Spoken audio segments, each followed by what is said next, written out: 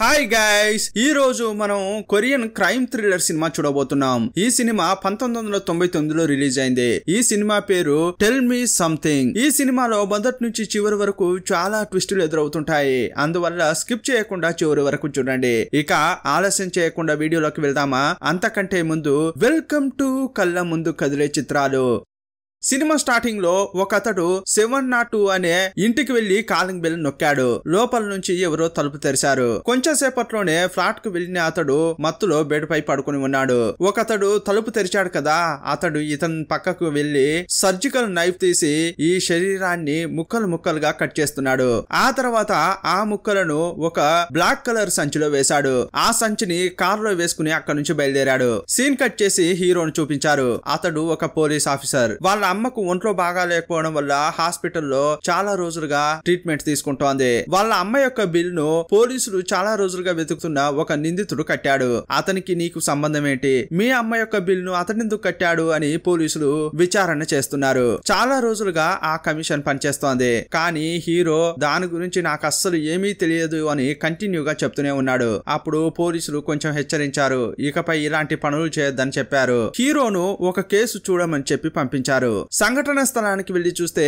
Apartment పైనుంచి ఒక అబ్బాయి కింద పడి చనిపోయాడు. అతడు ఒక ఇంట్లో దొంగతనం చేయడానికి కిటికీ గుండా వెళ్ళడానికి ప్రయత్నించాడు. అదే టైంలో స్లిప్ అయిపోయి కింద పడి చనిపోయినట్లు చుట్టుపక్కల ఉన్న వాళ్ళు పోలీసులకు చెప్తున్నారు. హీరో ఆ అపార్ట్మెంట్ను క్షుణ్ణంగా చూశాడు. ఆ తర్వాత చనిపోయి కనిపిస్తున్నాడు కదా బాబు అతని చేయిని చూశాడు. అతను వేసుకున్న కోట్కు ఒక బటన్ ఉంది. ఒక చేతికి మాత్రమే ఉంది ఇంకో చేతికి ఉన్న బటన్ కనిపించట్లేదు. అప్పుడు ఒక చేతికి ఉన్న బటన్ తీసి తన పాకెట్లో వేసుకున్నాడు. సీన్ కట్ చేస్తే హాస్పిటల్లో ఉన్న హీరో వాళ్ళ అమ్మ చనిపోయింది. నెక్స్ట్ సీన్లో ఒక బ్రిడ్జ్ కింద బ్లాక్ కలర్ బ్యాగ్ పోలీసులకు దొరికింది. స్టార్టింగ్ సీన్లో ఒక కిల్లర్ బాడీని పాటు పాటుగా కట్ చేసి ఒక చోట పడేశాడు కదా. ఆ కవరే ఇది. ఇప్పుడు పోలీసులకు ఇక్కడ దొరికింది. ఈ బాడీని తీసుకెళ్ళి అటాప్సీ రిపోర్ట్ చెక్ చేస్తున్నారు. చనిపోయింది ఎవరని కనిపెట్టలేకపోయారు. ఆ కవర్లో డెడ్ బాడీకి సంబంధించిన అన్ని అవయవాలున్నాయి కానీ ఆ డెడ్ బాడీకి ఈ కాళ్ళకు సంబంధం లేదు. అది వేరే డెడ్ బాడీకి చెందిన కాల్ అనేది డాక్టర్లు గుర్తించారు. అంతేకాదు ఇతని బాడీని కోసినప్పుడు ఇతడు చనిపోలేదు. అనస్థిషియా ఇచ్చి ఇతన్ని మత్తులోకి దింపి మత్తులో ఉన్న క్రమంలోనే ఇతని బాడీని కట్ చేశారు అని వైద్యులు రిపోర్ట్ ఇచ్చారు. దీన్ని బట్టి చూస్తే కట్ చేసింది ఒక డాక్టర్ అయి ఉంటాడు అని ఈ డాక్టర్లు చెప్పారు. ఇంకోవైపు సాధారణ జనం వెళ్తున్న క్రమంలో ఒక లిఫ్ట్లో ఒక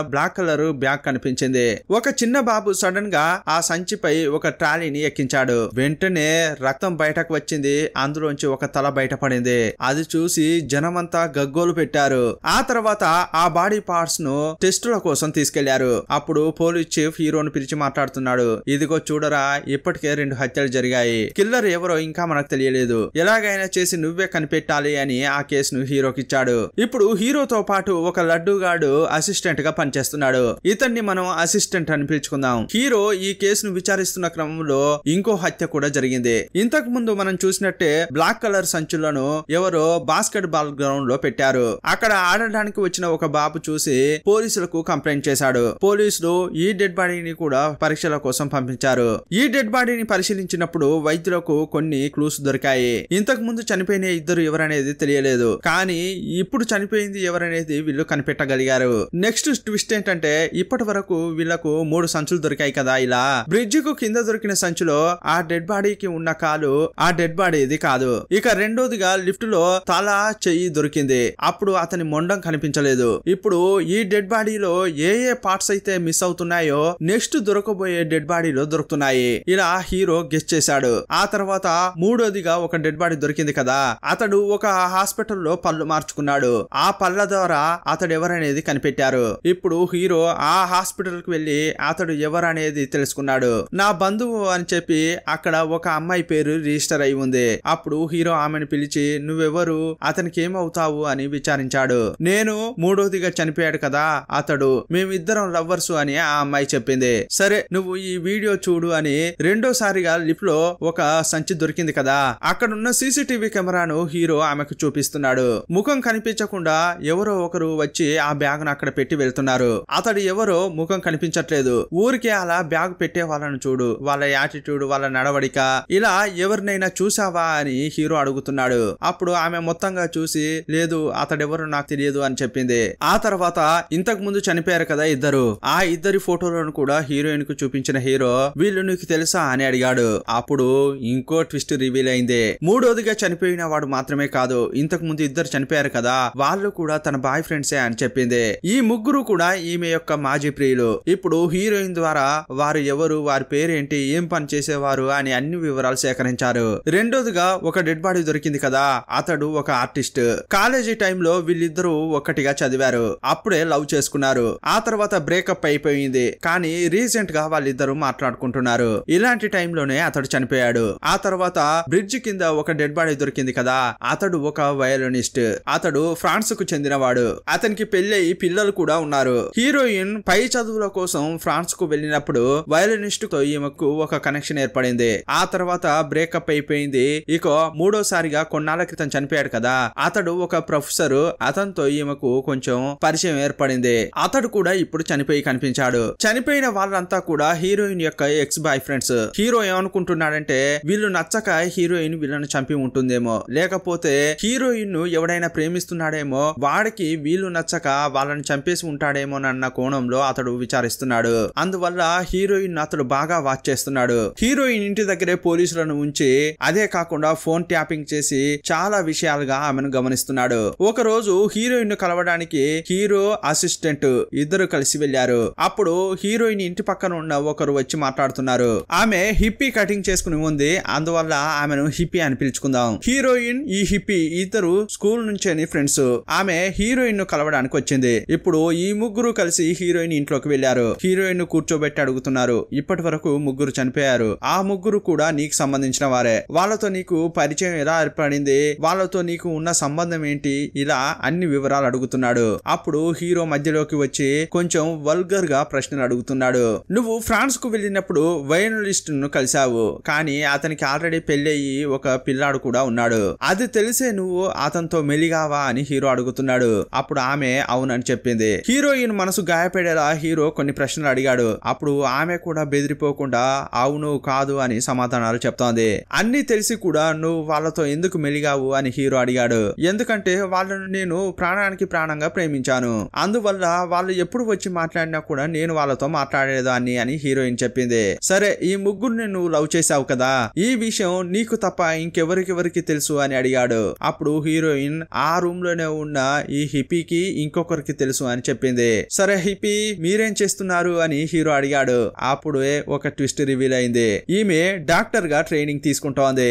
కిల్లర్ మేబీ ఈమె అయి ఉంటుంది అని పోలీసులు అనుకుంటున్నారు. సీన్ కట్ చేస్తే డాక్టర్ ఒక విషయాన్ని గుర్తిస్తున్నాడు. ఇప్పటి వరకు దొరికిన మూడు డెడ్ బాడీల్లో కూడా ఒక కెమికల్ను అతడు గుర్తించాడు. ఈ కెమికల్ అంత త్వరగా షాపులలో దొరకదు. అది చాలా రేర్గా దొరుకుతుంటుంది. ఇలాంటి కెమికల్ కొనే వాళ్ళను చేతి వేళ్ళపై లెక్క పెట్టొచ్చు. ఇప్పుడు దీన్ని బట్టి ఎవరెవరు దీన్ని కొన్నారు అన్న లిస్ట్ తీసుకోవచ్చని పోలీసులు అనుకుంటున్నారు. ఆ తర్వాత హిప్పీని ఒంటరిగా పిలిచిన హీరో హీరోయిన్ పాస్ట్ గురించి విచారించాడు. హీరోయిన్ ఈ హిప్పీ హై స్కూల్ నుంచి ఫ్రెండ్స్. కానీ అప్పుడు క్లోజ్ ఫ్రెండ్స్ కాదు. హీరోయిన్ కాలేజీలో చదివేటప్పుడు తన చేతిని కట్ చేసుకుని సూసైడ్ చేసుకోవాలని అనుకుంది. అప్పటి నుంచే ఈ హిప్పీ హీరోయిన్ క్లోజ్ ఫ్రెండ్స్ అయ్యారు. హీరోయిన్ ముగ్గురిని లవ్ చేసిన విషయం ఈ హిప్పీకి ఇంకొకరికి తెలుసు అని చెప్పుకున్నాం కదా. ఆ ఇంకో వ్యక్తి కూడా హీరోయిన్తో కాలేజీలోనే చదివాడు. అప్పటి నుంచి ఇప్పటి వరకు హీరోయిన్ను లవ్ చేస్తున్నా లవ్ చేస్తున్నా అని వెంట పడుతూ టార్చర్ చేస్తున్నాడు. అతడు ఒక పిచ్చివాడిలా ప్రవర్తిస్తుంటాడు. అందువల్ల లవర్ గా కూడా కాదు. ఫ్రెండ్గా కూడా అతన్ని యాక్సెప్ట్ చేయలేదు. ఇదంతా కూడా ఈ హిప్పీ ద్వారా తెలుసుకున్న హీరో హీరోయిన్ను టార్చర్ చేసింది ఎవడనేది తెలుసుకున్నాడు. అతని పేరు అక్యూజ్డ్. అతన్ని మనం అక్యూజ్డ్ అని పిలుచుకుందాం. అతని గురించి విచారిస్తున్నప్పుడు డెడ్ బాడీలో దొరికింది కదా రేర్ అయిన ఒక కెమికల్. ఆ కెమికల్ను అతడు ఆన్లైన్లో పర్చేస్ చేసినట్లు తెలిసింది. అందువల్ల అతన్ని తీసుకెళ్ళి స్టేషన్లో కూర్చోబెట్టి అసిస్టెంట్ విచారిస్తున్నాడు. చెప్పరా బాబు ఈ కెమికల్ను నువ్వు ఆన్లైన్లో పర్చేస్ చేసావు కదా. ఎందుకోసం కారణం ఏంటి అని అడుగుతున్నారు. మా ఇంట్లో పురుగులు చాలా ఉన్నాయి. వాటిని చంపడం కోసమే ఈ మందు కొన్నాను అని అతడు చెప్పాడు. ఆ తర్వాత అసిస్టెంట్ చాలా ప్రశ్నలు అడిగాడు. వాటన్నింటికి కూడా అతడు పొగరుగా సమాధానం ఇస్తున్నాడు. ఈ రూమ్ మొత్తం హిడెన్ కెమెరాలు పెట్టారు. కొత్తగా వచ్చిన వాళ్ళకు అక్కడ కెమెరా ఉన్న సంగతే తెలియదు. కానీ ఇక్కడ ట్విస్ట్ ఏంటంటే ఈ రూమ్లో కూర్చున్న ఈ అక్యూజ్డ్ దాచిపెట్టిన కెమెరాను చూస్తూ డైరెక్ట్గా మాట్లాడుతున్నాడు. ఈ రూమ్లో జరిగేదంతా కూడా హీరో ఒక రూమ్లో కూర్చుని చూస్తున్నాడు. కెమెరా ఫిక్స్ చేసిందే ఎవరికీ తెలియదు. కానీ ఇతనికేమో కెమెరా కరెక్ట్గా అక్కడే ఉన్నట్లు తెలుసుకుని మాట్లాడినట్లు మాట్లాడుతున్నాడే అనుకుంటున్నాడు. ఇతనికి ఎలా తెలిసిపోయింది అని హీరో ఆలోచిస్తున్నాడు. ఇంకోవైపు హీరోయిన్ను చూపించారు. హీరోయిన్ ఇంట్లో ఒంటరిగా ఉంది. అప్పుడు ఇంటి బయట ఏదో వ్యత్యాసమైన సౌండ్ వినిపించింది. ఆమె బయటకు వెళ్ళి ఎవరని చూస్తోంది. బయట ఎవరూ లేరు. కొంచెం సేపు అయ్యాక ఈమె ఇంటికి ముందు వచ్చి నిలబడిన హిప్పి చాలా సేపటి నుంచి కాలింగ్ బెల్ నొక్కుతూనే ఉంది. కానీ తలుపులు తెరవట్లేదు. నెక్స్ట్ అక్కడికి పోలీసులు చాలా మంది వచ్చారు. హీరో కూడా వచ్చాడు. ఎందుకు వీళ్ళంతా ఇంత హడావిడిగా వచ్చారని చూస్తే హిప్పీ రావడానికి ముందు హీరోయిన్ ఇంట్లోకి ఎవడో దూరినట్లున్నాడు. హీరోయిన్ అటాక్ చేయడానికి ప్రయత్నించాడు. మేబీ అది కిల్లర్ కూడా అయి ఉండొచ్చు. హీరోయిన్కు మాత్రం ఏమీ కాలేదు. ఆమె మైకంలో పడిపోయింది. కానీ ఆమె శరీరంపై ఎలాంటి గాయాలు లేవు. మైకంలో ఉన్న ఆమెను హాస్పిటల్కి తీసుకెళ్ళి అడ్మిట్ చేశారు. ఈ హిప్పీనే పోలీసులకు కాల్ చేసి ఇక్కడికి రమ్మని చెప్పింది. కొత్తగా ఆ ఇంట్లోకి ఎవరో వచ్చినట్లు ఫుట్ ప్రింట్స్ దొరికాయి. ఇప్పటి వరకు అక్యూజ్డ్ కిల్లర్ అని పోలీసులు అనుమానించారు. కానీ అతడు ఇప్పుడు స్టేషన్లో ఉన్నాడు. అతడు స్టేషన్లో ఉన్న క్రమంలో కిల్లర్గా ఈ ఇంట్లోకి ఎలా రాగలడు? అందువల్ల అతడు కిల్లర్ కాదని హీరో స్టేషన్కు కాల్ చేసి అతన్ని విడుదల చేయమని చెప్పాడు. ఆ తర్వాత హాస్పిటల్లో ఉన్న హీరోయిన్ను మీట్ అయిన హీరో నీపై దాడి చేసిన వాడిని గుర్తుపట్టగలవా? అని అడిగాడు. అప్పుడు ఆమె చాలా మనోవేదనలో ఉంది. హీరో అడిగిన ప్రశ్నకు సమాధానాలు చెప్పే స్థితిలో లేదు. ఇంకోవైపు స్టేషన్ నుంచి ఇంటికి వెళ్ళాడు కదా అక్యూజ్డ్ అతడు ఎవరితోనో ఫోన్లో మాట్లాడుతున్నాడు. అడ్రస్ మాత్రం చెప్పు మనం నేరుగా వచ్చి కలుసుకుందాం అని అడిగాడు. అటువైపు మాట్లాడుతున్న వాళ్ళు ఏదో అడ్రస్ చెప్పారు. ఇతడు రాస్తున్న పెన్ సరిగా పనిచేయట్లేదు. అందువల్ల పనిచేయని పెన్తో పేపర్ పై అలా ఊరికే రాశాడు. అతడు రాసినప్పుడు మార్క్స్ లాగా పడుతుంటాయి కదా అలా రాసేసి ఎవరినో మీట్ అవ్వడానికి అతడు వెళ్ళిపోయాడు. ఇంకోవైపు హాస్పిటల్ నుంచి హీరో హీరోయిన్ ఇంటికి వెళ్ళాడు. అక్కడ ఒక విషయాన్ని గుర్తుపట్టాడు. అదేంట్రా అంటే హీరోయిన్ ఇంట్లో ఎవరో హిడెన్ కెమెరాస్ ఫిక్స్ చేశారు. స్టేషన్లో కెమెరాలు ఉన్న సంగతే ఎవరికీ తెలియదు. కానీ అక్యూజ్డ్ను పిలిచి విచారించినప్పుడు అతడు కెమెరా ఉన్న వైపే చూసి మాట్లాడాడు. దాచిపెట్టిన కెమెరాను చూస్తూ మాట్లాడాడంటే కెమెరాలు ఎక్కడెక్కడ ఉంటాయో దానికి సంబంధించిన నాలెడ్జ్ అతనికి ఉందని ఇతనికి తెలిసిపోయింది. అతడే ఈ పని చేసి ఉంటాడని హీరో అనుకున్నాడు. పోలీసులను తీసుకుని అతని ఇంటికి వెళ్ళాడు. అతడు ఎవరినో కలవడానికి అక్కడి నుంచి వెళ్ళిపోయాడు కదా. అప్పుడు పేపర్ పై ఒక అడ్రస్ రాశాడు కదా. దానికి సంబంధించిన మార్క్స్ను హీరో గమనించాడు. హీరో పెన్సిల్తో దానిపై అలా ఇలా గీకాడు. అప్పుడు సెవెన్ నాట్ టూ అనే ఫ్లాట్ నెంబర్ అతనికి కనిపించింది. ఈ నెంబర్ నే మనం స్టార్టింగ్లో చూసిన ఫ్లాట్ నెంబర్. ఒకవేళ అక్కడికి వెళ్ళి ఉంటాడేమో అని హీరో అనుకున్నాడు. పోలీసులు ఆ ఇంటిని అంతా చూస్తుంటే ఇప్పుడు ఒక ట్విస్ట్ రివీల్ చేశారు. అతని ఇంట్లో ఉన్న ఫ్రిడ్జ్లో మూడోదిగా ఒక డెడ్ బాడీ దొరికింది కదా. ఆ డెడ్ బాడీకి సంబంధించిన హార్ట్ దొరకలేదు. కానీ ఆ హార్ట్ ఇతని ఇంట్లో ఉంది. అందువల్ల ఇతడే కిల్లర్ అయి ఉంటాడు అని హీరో మళ్ళీ సందేహపడుతున్నాడు. హీరోయిన్ను కాపాడడం కోసం హాస్పిటల్కు వెళ్ళాడు. హీరోయిన్ను చంపడానికి వచ్చింది కరెక్ట్గా ఇతడైతే కాదు. ఎవరైనా మనిషిని పెట్టి అతడు అలా అటాక్ చేయించి ఉంటాడు అని హీరో అనుకున్నాడు. హాస్పిటల్కు వెళ్ళి హీరోయిన్ ఎక్కడ అని విచారిస్తుంటే ఆమె డిశ్చార్జ్ అయినట్లు చెప్పారు. మనశ్శాంతి కోసం ఆమె వేరే ఒక చోటుకు వెళ్ళి ఉంటోంది. ఆ అడ్రస్ను హీ దగ్గర తీసుకున్న హీరో తన అసిస్టెంట్ను తీసుకుని అక్కడికి వెళ్తున్నాడు. అడవి మధ్యలో ఆ ఇల్లు విడిగా ఉంది. నువ్వు ఇక్కడ ఉండడం సేఫ్ కాదు. ఏదున్నా కూడా నేను చూసుకుంటా. నాతో రా అని హీరో పిలుస్తున్నాడు. ఇప్పుడు హీరో హీరో తన ఇంటికి ఆమెను తీసుకెళ్ళాడు ఆ రోజు రాత్రి ఆమె పడుకుంటోంది. అతడు పక్కనే ఉండి ఆమెకు ఎలాంటి సమస్య రాకుండా చూసుకుంటున్నాడు. నెక్స్ట్ డే కేసు విచారణ కోసం బయటకు వెళ్ళేటప్పుడు నీకు ఏదైనా అవసరం అయితే నాకు కాల్ చెయ్యి. ఒకవేళ అత్యవసరం అయితే డ్రాలో గన్ ఉంటుంది దాన్ని యూజ్ చేసుకో అని చెప్పాడు. తప్పించుకుని వెళ్ళాడు కదా అక్యూజ్డ్. అతడు ఇప్పుడు ఎక్కడ ఉన్నాడో తెలియట్లేదు. అతనికి ఒక వర్క్ షాప్ ఉన్నట్లు మిగతా పోలీసులు హీరోకు చెప్పారు. అందువల్ల హీరో ఆ అడ్రస్కు వెళ్తున్నాడు. ఆ చోటనే ఆ అక్యూజ్డ్ యొక్క కార్ ఆగి ఉంది. తప్పకుండా అతడు ఆ బిల్డింగ్లోనే ఉండి ఉంటాడని హీరో అనుకుంటున్నాడు. అసిస్టెంట్కు కాల్ చేసి అతడు ఇక్కడే ఉన్నాడు. వెంటనే చాలా మంది పోలీసులను తీసుకుని ఇక్కడికి రా అని చెప్పాడు. ఇతడు ఊరికే బయట వెయిట్ చేయకుండా లోపలికి వెళ్తున్నాడు. లోపలికి వెళ్ళాక లైట్స్ ఆన్ చేశాడు కానీ లైట్ వెలగలేదు. చేతిలో ఒక ఫ్లాష్ లైట్ తీసుకుని ఇల్లంతా తిరిగి చూస్తున్నాడు. అప్పుడు ఆ ఇంటి గోడలకు హీరోయిన్ ఫోటోలు మాత్రమే తగిలించి ఉన్నాయి. అవి నార్మల్ ఫోటోస్ కాదు. హీరోయిన్ ఎక్కడెక్కడికి వెళ్తుందో ఆమెకే తెలియకుండా తీసిన ఫోటోలు అవి. దీన్ని బట్టి ఏం తెలుస్తుందంటే అక్యూజ్డ్ చాలా రోజులుగా హీరోయిన్ను ఫాలో అవుతున్నట్లు తెలిసింది. అప్పుడు ఇంకో ట్విస్ట్ రివీల్ చేశారు. బిల్డింగ్ బయట ఉన్న ఒక అతడు ఇక్కడ నుంచి ఎవరు బయటకు వెళ్ళకూడదని చెప్పి అక్కడ లాక్ చేశాడు. అతని ఫేస్ను మనకు చూపించలేదు. అప్పుడు ఇంట్లో ఉన్న హీరో అక్కడ ఒక డివిడి ప్లేయర్ ఉండడం చూశాడు. ఆల్రెడీ ఒక క్యాసెట్ వేసి ఉంది. అది ప్లే కాకుండా పాజ్లో ఆగింది. ఆ స్క్రీన్ పక్కనే ఇంకా చాలా క్యాసెట్ ఉన్నాయి హీరోయిన్ ఇంట్లో హిడెన్ కెమెరా ఉండింది కదా. ఆ కెమెరా యొక్క వీడియో ఫుటేజ్ ఈ క్యాసెట్లలో ఉన్నాయి. ఇదంతా చూసిన హీరో పాజ్ అయి ఒక వీడియో ఉండింది కదా దాన్ని ప్లే చేశాడు. అప్పుడు ఇంకో ట్విస్ట్ రివీల్ చేశారు. ఇంతసేపటి నుంచి ఎవరినైతే అక్యూజ్డ్ అని హీరో అనుకుంటున్నాడో అతన్ని ఎవరో బెడ్లో కట్టేసి అతనికి అనస్థీషియా ఇచ్చి మత్తులో పడేశారు. ఆ తర్వాత అక్యూజ్డ్ను ముక్కలు ముక్కలుగా కోసారు అలా కోసే వాడి ముఖం కనిపించలేదు అతడే కిల్లర్. ఇంకో విషయం ఏంటంటే కొంచెం సేపటి క్రితం ఎవరో తలుపులు మూసేశారు కదా అతడే హీరో రాక ముందుకు ఈ బిల్డింగ్ కు వచ్చి అతడే ఆ డివిడి ప్లేయర్లో క్యాసెట్ పెట్టాడు. అనుకోకుండా అతడు బయటకు వెళ్ళాడు. అదే టైంలో హీరో వచ్చి ఆ ఫుటేజ్ని చూస్తున్నాడు. చూస్తున్న క్రమంలో బయట ఏదో శబ్దం వస్తోందని హీరో బయటకు వచ్చాడు కారు స్టార్ట్ అయింది. కారులో ఎవరో ఉన్నారు. తప్పకుండా అతడే కిల్లర్ అయి ఉంటాడు. అతడు కారు తీసుకొచ్చి హీరో పై ఎక్కించాలని చూస్తున్నాడు. హీరో కూడా అక్కడి నుంచి తప్పించుకోవడానికి ఎంతో ట్రై చేస్తున్నాడు. కానీ అక్కడ లాక్ అయి ఉంది కదా అందువల్ల తప్పించుకోలేకపోయాడు. హీరో పై రెండు సార్లు కారు ఎక్కించాడు అతనికి చాలా దెబ్బలు తగిలి కదలలేని స్థితిలో పడిపోయాడు. మూడోసారి కూడా హీరో పై కారు ఎక్కించి చంపేస్తాడని చూస్తే అది జరగలేదు. హీరో పై కారు ఎక్కించకుండా ఆ కారు తీసుకుని కిల్లర్ తప్పించుకుంటున్నాడు. అతడు ఎందుకు అలా చేశాడో హీరోకి అర్థం కాలేదు. అప్పుడు అసిస్టెంట్ హీరోని చూస్తూ ఏమంటున్నాడంటే మీ దగ్గర వెపన్ లేదని తెలుసుకుని అతడు మిమ్మల్ని అటాక్ చేశాడేమో అని అంటుంటే అప్పుడు హీరో వెంటనే వేగంగా తన ఇంటికి వెళ్ళాడు. ఇంటికెళ్ళి చూస్తే ఇంట్లో ఉండాల్సిన హీరోయిన్ కనిపించట్లేదు. డ్రా ఓపెన్ చేసి చూశాడు. అతడు పెట్టిపోయిన గన్ అక్కడే ఉంది. కొంచెం సేపు అయ్యాక హీరోయిన్ ఇంట్లోకి వచ్చింది. చేతిలో నల్లని కవర్లతో వచ్చింది. కిల్లర్ కూడా ఇలాంటి బ్యాగులను యూజ్ చేస్తున్నాడు కదా. అందువల్ల హీరోకు సందేహం కలిగి ఆ బ్యాగులో ఉన్న వాటన్నిటిని కింద పడేశాడు. ఆమె పక్కనున్న షాపుకు వెళ్ళి కొన్ని వస్తువులు కొనుక్కుని తీసుకొస్తోంది. అనవసరంగా సందేహపడ్డానే అని హీరో అనుకుంటున్నాడు. ఏంటమ్మా ఏం చేస్తున్నావు? నిన్ను కాపాడడానికి ఇక్కడ మేము కుక్కల్లా కష్టపడుతున్నాం. నీతో పాస్ట్లో ఎవరికైతే సంబంధం ఉందో వాళ్ళు కంటిన్యూగా చనిపోతున్నారు. నీకు ఎవరిపైన సందేహంగా ఉందా? అని అడిగితే ఆమె నోరు మీద పట్టలేదు. ఎందుకమ్మా నువ్వు ఇంత సైలెంట్గా ఉన్నావు? మమ్మల్ని చంపక తింటున్నావు ఎందుకు అని అరుస్తున్నాడు. అప్పుడు ఆమె కొంచెం ఏడ్చుకుంటూ ఫీలింగ్తో మాట్లాడుతోంది. నేను నా పాస్ట్ను మర్చిపోవాలని అనుకుంటున్నాను. కానీ నువ్వు మళ్ళీ మళ్ళీ గుర్తు చేస్తున్నావు. ఇలా అంటుంది కొంచెం సేపు అయ్యాక అంతా మర్చిపోయి కూర్చుంది. హీరోయిన్కు గన్ను ఎలా యూజ్ చేయాలో తెలియదు. అందువల్లే ఆమె బయటకు వెళ్ళేటప్పుడు గన్ తీసుకోకుండా వెళ్ళింది. గన్ను ఎలా ఉపయోగించాలో నాకు తెలియదు. నాకు కొంచెం నేర్పిస్తావా అని అడిగింది. అప్పుడు హీరో కూడా ఎలా యూజ్ చేయాలో ఆమెకు చెప్పాడు. సీన్ కట్ చేస్తే ఇప్పుడు నడి రోడ్డులో ఒక బ్లాక్ కలర్ కవర్ పడి ఉంది. ఇది గమనించకుండా ఒక ట్రక్ ఆ బ్యాగ్ పై ఎక్కింది. అప్పుడు రక్తం చిందింది. అన్ని కార్ల అద్దాలపై ఆ రక్తం పడింది.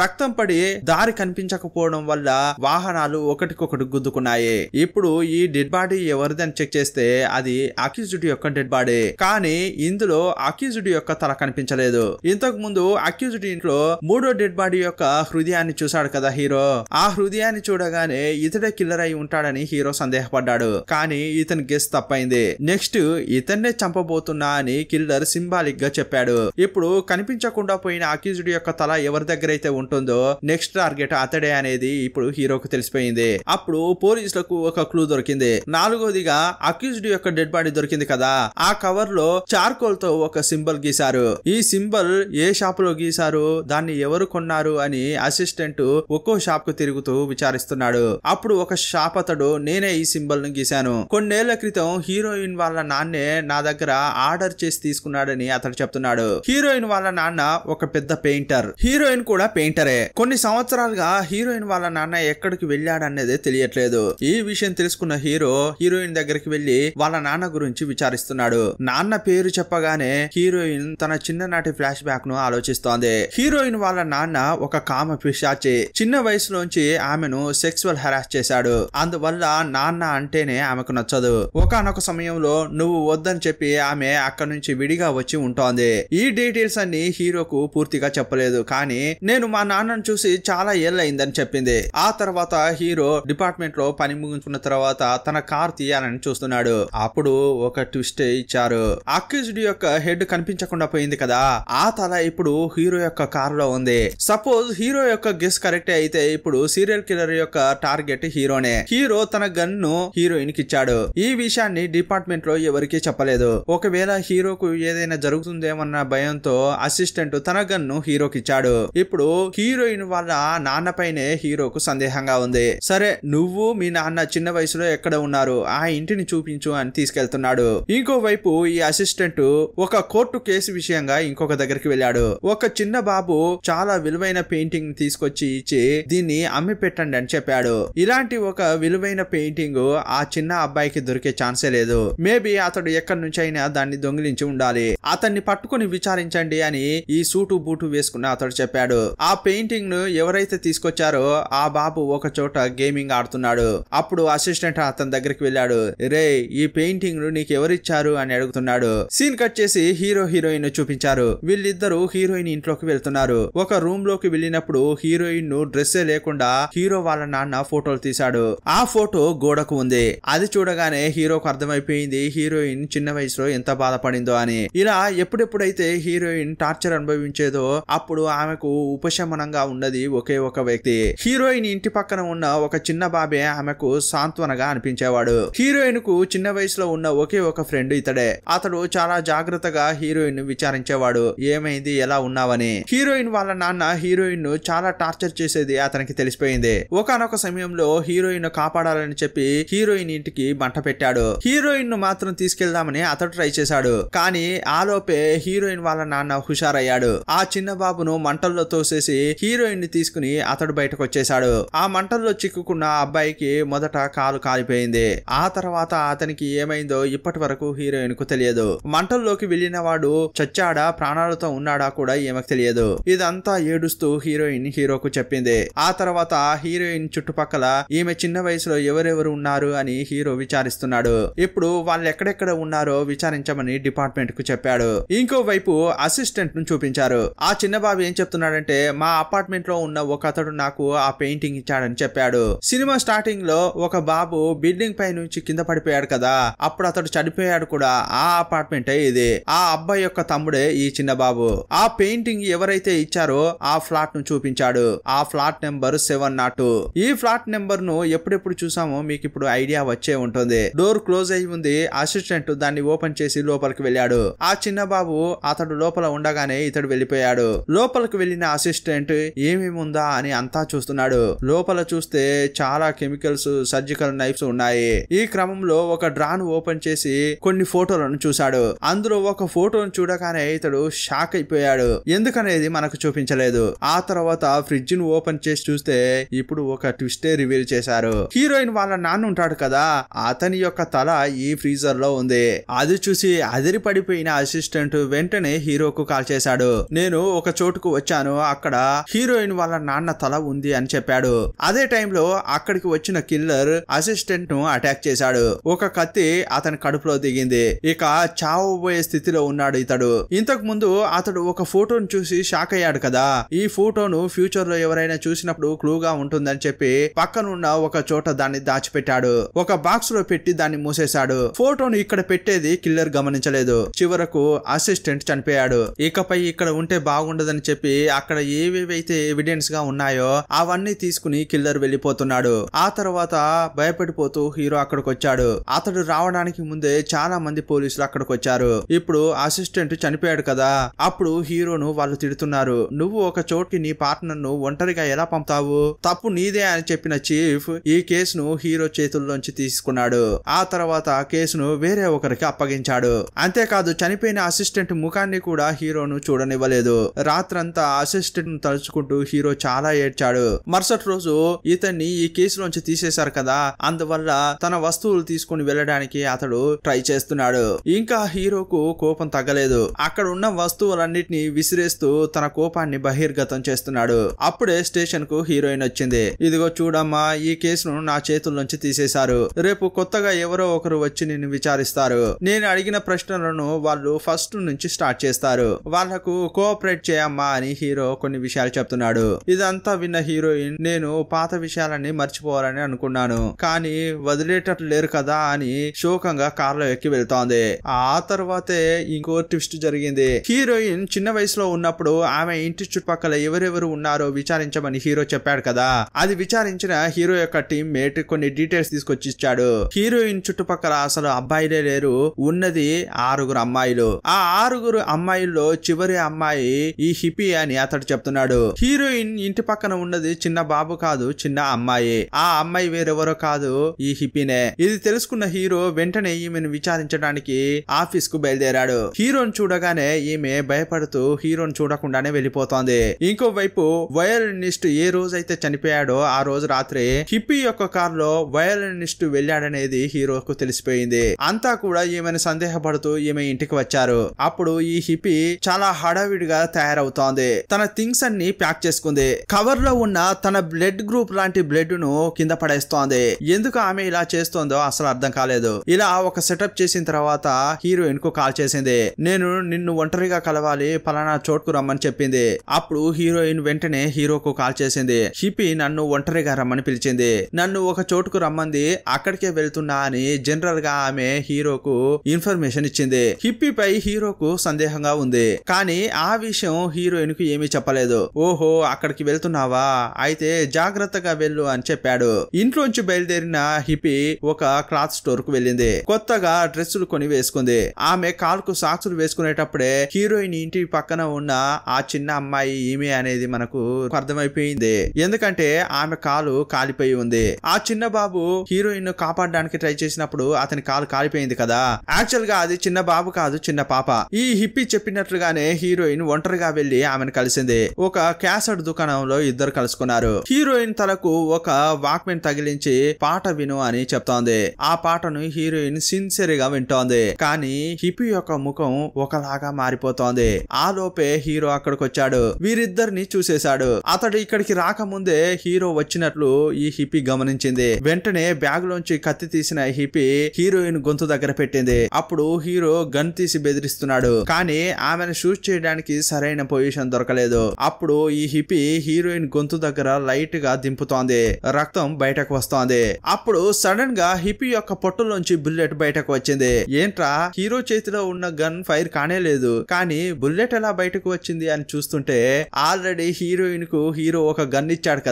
ఆ గన్ను రహస్యంగా తీసిన హీరోయిన్ ఆమెను కాల్ చేసింది బుల్లెట్ దిగడంతో హిప్పీ అక్కడికక్కడే చనిపోయింది. హిప్పీ ఇంటికి కొంతసేపటి క్రితమే పోలీసులు వెళ్ళి చెక్ చేశారు. కిల్లర్ యూజ్ చేసిన సర్జికల్ నైఫ్స్ ఆమె ఇంట్లో ఉన్నాయి. అంతేకాదు ఇంతకు ముందు నలుగురు చనిపోయారు కదా. వాళ్ళ యొక్క బ్లడ్ సాంపిల్స్ కూడా అక్కడ దొరికాయి. అందువల్ల ఈమె కిల్లర్. ఈమెనే కిల్లర్ అని చెప్పి కేసును క్లోజ్ చేశారు. ఇక కిల్లర్ దొరికిపోయారు కదా. అందువల్ల కొన్నాళ్ళ తర్వాత నేను ప్యారిస్ వెళ్ళబోతున్నా అని హీరోతో హీరోయిన్ చెప్తోంది నేను ఇక్కడే ఉంటే నాకు ఆ హత్యలే గుర్తుకు వస్తున్నాయి. కావాలంటే నువ్వు కూడా నాతో రా అని హీరోని పిలుస్తోంది. నేను రాలేనని నీకే తెలుసు. అలా హీరో చెప్తుంటే హీరో కోసం హీరోయిన్ రెండు గిఫ్ట్లు ఇచ్చింది. ఒకటి చేపలను పెంచే బాటిల్ ఇంకొకటి హీరో యొక్క డ్రాయింగ్ గీసిన డైరీ. ఇది హీరోకి ఇచ్చిన హీరోయిన్ సరే జాగ్రత్తగా ఉండు నాకు ఫ్లైట్కు టైం అయింది అని వెళ్తోంది. అప్పుడు ఇంటికి వెళ్ళిన హీరో అక్యూజ్డ్ వర్క్ షాప్లో చాలా వీడియో క్యాసెట్లు ఉండడం ఇంతకు ముందు చూసాం కదా హీరోయిన్ ఇంట్లో హిడెన్ కెమెరాస్ ఉంటాయి కదా దానికి సంబంధించిన ఫుటేజే అదంతా. దాన్ని తీసి హీరో ఊరికే అలా చెక్ చేస్తున్నాడు. ఇప్పుడే ఒక ట్విస్ట్ చూపించారు. హీరోయిన్ ఒక చిన్న వస్తువును తీసి దాన్ని డ్రాయర్లో దాచిపెడుతోంది. ఏంట్రా అది అని హీరో జూమ్ చేసి చూస్తుంటే సినిమా స్టార్టింగ్లో ఒక చిన్న బాబు అపార్ట్మెంట్ నుంచి కింద పడి చనిపోయాడు కదా. అతని ఒక చేతికి మాత్రం బటన్ ఉంటుంది. ఇంకో చేతికి బటన్ ఉండదు. ఆ బటన్ ఇప్పుడు హీరోయిన్ చేతిలో ఉంది. దాన్ని ఆమె టేబుల్ డ్రా లో దాచిపెడుతోంది. అది చూసిన హీరో వెంటనే హీరోయిన్ ఇంటికి వెళ్ళాడు. ఆ డ్రాయర్ ఓపెన్ చేసి ఆ బటన్ను తీశాడు. ఆ తర్వాత తన చేతిలో ఉన్న బటన్ను తీసి మ్యాచ్ చేశాడు. రెండు కూడా సేమ్గా ఉన్నాయి. అంతేకాదు ఏడు వందల రెండు అనే ఫ్లాట్ యొక్క కీ కూడా ఉంది. నేరుగా ఇప్పుడు ఏడు వందల రెండు అనే ఆ ఫ్లాట్కు వెళ్ళాడు. అసలు ఏం జరిగిందనే ఫ్లాష్ బ్యాక్ను చిన్నదిగా మనకు చూపిస్తున్నారు. ఫ్లాట్లో ఎవరినో ఒకరిని చంపుతున్న క్రమంలో ఆ చిన్న బాబు హీరోయిన్ను చూశాడు. సడన్గా అతడు పైనుంచి చూడగానే ఈమె అతని అతన్ని తోసేసింది. ఆ టైంలోనే ఆ బటన్ హీరోయిన్ చేతికి వచ్చింది. ఆ టైంలో అనుకోకుండా హీరో ఒక బాక్స్ను ఓపెన్ చేశాడు. ఆ బాక్స్లోనే అసిస్టెంట్ ఒక ఫోటోను దాచిపెట్టాడు. ఆ ఫోటోలో ఇంతకు ఏముందో ఇప్పుడు చూపిస్తున్నారు. ఆ ఫోటోలోనే హీరోయిన్ ఈ హిప్పీ ఉన్నారు. అంతేకాదు ఇప్పటి వరకు నలుగురు చనిపోయారు కదా. వాళ్ళంతా కలిసి దిగిన ఫోటో ఒకటి కనిపించింది. ఆ ఫోటో దిగిన చోటును హీరో ఆల్రెడీ చూసినట్లు సందేహం కలిగింది. అడవిలో హీరోయిన్ ఒంటరిగా ఉండింది కదా. వెంటనే ఆ ఇంటికి వెళ్ళాడు. ఇప్పుడు హీరో గెస్ట్ చేసినట్లే ఆ ఫోటోను ఈ ఇంట్లోనే తీసుకున్నారు. ఆ ఇంట్లో ఒక పెద్ద అద్దం ఉంది. లైట్ ఆన్ చేయగానే ఇప్పుడు ఒక ట్విస్టే ఇక్కడ ఉంది. ఇప్పటి వరకు కొన్ని అవయవాలు మిస్ అయ్యాయి కదా. వాటన్నిటిని కలిపి కుట్టిన ఒక రూపం ఇక్కడ కనిపిస్తోంది. అరెరే అయితే అసలు కిల్లర్ హీరోయినేనా అని హీరో అనుకుంటున్నాడు. చాలా కోపంతో ఆ అద్దాన్ని హీరో పగలగొట్టాడు. ఇంకోవైపు హీరోయిన్ ప్యారిస్కు బయలుదేరుతోంది. ఫ్లైట్లో హీరోయిన్ పక్కన ఒక అతడు కూర్చున్నాడు. అతడు అడుగుతున్నాడు ఏమండి ఫ్రాన్స్కు కొత్త అని అడుగుతున్నాడు. ఆల్రెడీ హీరోయిన్ ఫ్రాన్స్లో చదువుకుంది. కానీ ఇప్పుడు ఇతనితో అవునండి నేను ఫ్రాన్స్కు కొత్త అంటోంది. ఇంకోవైపు హీరో ఒరిజినల్ కిల్లర్ను తప్పించుకునేలా చేశానే అని చాలా ఏడుస్తున్నాడు. ఇంతటితో ఈ సినిమాను ముగించారు. చాలా క్వశ్చన్లకు ఆన్సర్స్ చెప్పకుండానే ఈ సినిమాను ముగించారు. అసలు ఈ సినిమాలో ఏం జరిగింది? ఎవరు ఎవరిని చంపారు? మీకు వచ్చిన డౌట్స్ ఏంటి? అని కామెంట్ బాక్స్లో రాయండి. మీకున్న థియరీని కూడా కామెంట్ బాక్స్ లో పంచుకోండి. మరో సినిమాతో మళ్ళీ కలుసుకుందాం. అప్పటి వరకు బాయ్ బాయ్.